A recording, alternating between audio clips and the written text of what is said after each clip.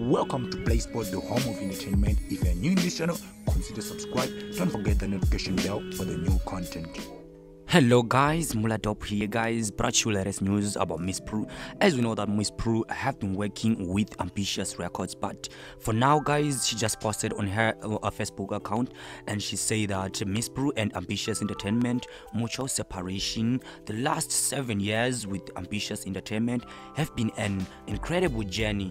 I have involved so much and as an artist, as a person, and none of which would be possible without the extraordinary support from the team. So guys, if you continue, you can even also read on your own and understand what she said. She was also grateful about ambitious entertainment. But guys, with so many artists also are leaving ambitious records. Is there anything fish or anything is happening? Uh, we don't know. Actually, she knows. So I we don't know, guys. I don't know. Miss also, I don't want to tell something which I don't know, but I think there is something fishy because or else she wanna start her new uh, record label. So we don't know. Just wishing the best.